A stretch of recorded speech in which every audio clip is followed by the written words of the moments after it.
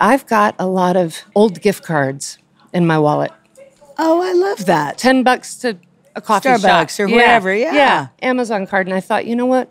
Why don't I pull every single one of those gift cards out, find somebody that I think needs them, stick them under the windshield, pray a prayer, and just begin with Right. small steps. Right. Bono says this mm. to me a mm. faith in Jesus Christ mm. that is not aligned with the poor is nothing. Who are the poor in your life? Yeah. Who needs an ear? Yeah. Who just needs a conversation? Who needs a smile? Um, who needs a casserole brought over with a bit, a little bit of time just to sit and listen while they while they eat a serving? Um, you have got more to give away than you even recognize in this moment.